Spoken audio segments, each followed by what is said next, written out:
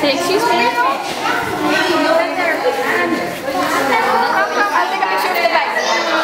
How you? What do you want?